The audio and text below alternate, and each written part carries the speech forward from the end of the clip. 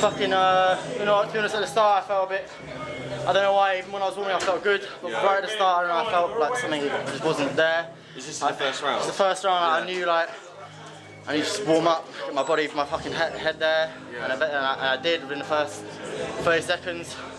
I just listened to my corner, best corner around, Yeah. told what to do. I don't know, just, there's a lot more confidence in my abilities now because of the first loss. Yeah, yeah, of course. Fucking starting to see. feel a lot of pressure kind of coming Yeah. into Uh, maybe yeah, yeah, just because of fucking as the first first loss. I've been out for a year of injuries. It's been What was what injury? I've done my shoulder, I've had operation, and fuck my rib. It's been out for ages. Just generally, I'm a walking injury machine. I'm just, just an idiot. So in a way, there was quite a lot of pressure on you. A little bit, yeah. Like I feel like because of some stuff has been going good for me at the start of the year. I just want to just get me off to a proper good start, year year start, and it has. So. I mean, talk, talk me through the uh, submission. Uh, Can you well, remember it? yeah, yeah, I can remember it, man. It was like, it was fucking. I was, I was.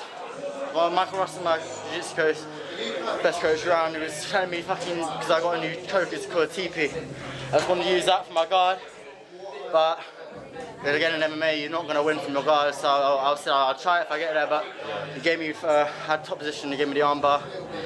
I thought maybe I should hit him, break him down a bit more, but I just went for it, and I was a bit worried because he, he came on top, but I still had it. And it wasn't the third round, so we weren't fucking sweaty, and I, I, I had a good grip. So Being a debutant as well, um, you see, there's probably not much you can go on in YouTube. he felt like a debutant, like you know what I mean. I he felt like a bit kind of set back, but obviously I'm not gonna fucking get set, set myself back. I'm gonna go for it. Well, you've got the victory, which is the main thing. So, um, do you know uh, when you're thinking about your next fight? Yeah, uh, April 13th, um, Cage Warriors Academy. Okay, fantastic. Yeah, yeah, sweet mate. So you're hopefully going to be questioned this year, and uh, Fucking as much, as much as possible. I want, I want to get be pro as soon as possible, so more amateurs the better. When ideally, when do you think, or when, when you Maybe two years, maybe 20, 21. I want to be aim to be pro. Yeah. Make my whole fucking life, make my whole life for the next year just fighting. I said to my friends, I'm done fighting for a while. I just want to focus on this, just training, nothing else. That's what I've been doing. You ask any of them, they'll be say he's a ghost fighter. You know, you know. Just tell us about where you fight out of as well. and MMA clinic, uh, head coach Paul Hines, trained with, you know, Darren the dentist in the UFC. Yes, yes, yes. Yeah, he's one of my, he trains with me. Got a lot of good guys there. Fucking Sharif, my training partner. He's out at the moment, but he's fucking big things. Me and him are gonna come up together. My brother as well. He's got good hands, which needs to get his wrestling up. Yeah. Watch out for him. So yeah, Fantastic. Well, give, um, thanks for talking to us. Just before we go, do you want to shout out social media and any sponsors? yeah. My so my Insta- I don't really use anything else apart from Instagram. I use Facebook. My name's Noah Landes.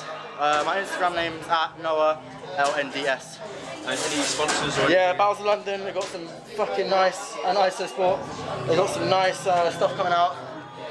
Uh, mate, you can see they mainly make clothes. It's really nice Japanese. I think it's Japanese, but it's really. I think it's. I think it is Japanese, but uh, my memory's fuck. But it is. It is really nice stuff. Really comfy. The only trouble is it's, it's too nice to wear it to walk and get sweaty. Yeah. Listen, I know you say. Thanks very much Yeah, no. I and, appreciate it, mate. Thanks. Nice one. Appreciate that. Cheers.